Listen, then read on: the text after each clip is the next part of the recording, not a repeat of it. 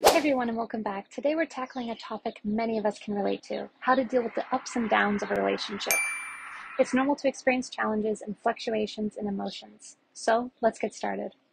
Effective communication is essential. Create a safe space for open and honest conversations with your partner. Express your feelings, concerns, and needs, and encourage your partner to do the same. This is going to help you find better resolutions to conflicts.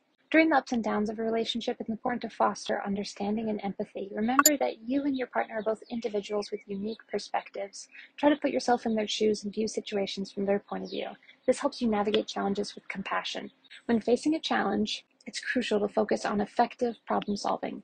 Instead of dwelling on blame or criticism, approach the issue as a team. Keep in mind that healthy relationships involve finding win win outcomes rather than trying to win an argument.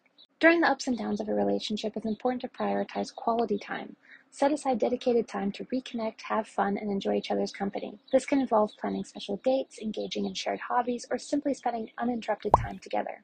Quality time strengthens your bond and helps you weather the storms. Taking care of yourself is crucial. Make self care a priority and engage in activities that recharge and rejuvenate you. When you take care of yourself, you bring your best self to the relationship. Sometimes seeking outside support can be helpful when facing relationship challenges. Reach out to trusted friends or family members who can offer guidance and perspective. If needed, consider seeking professional help from a relationship counselor or therapist. Finally, it's important to embrace the journey of the relationship. Ups and downs are natural. Accept the challenges and embrace the growth that opportunities come with when navigating through these difficult times. Remember, every hurdle you overcome together strengthens your bond. Are you tired of navigating the complexities of dating on your own? It's time to take control of your love life and all of your dating potential. You need to visit datingprofilewriters.com to learn more. Thank you for watching.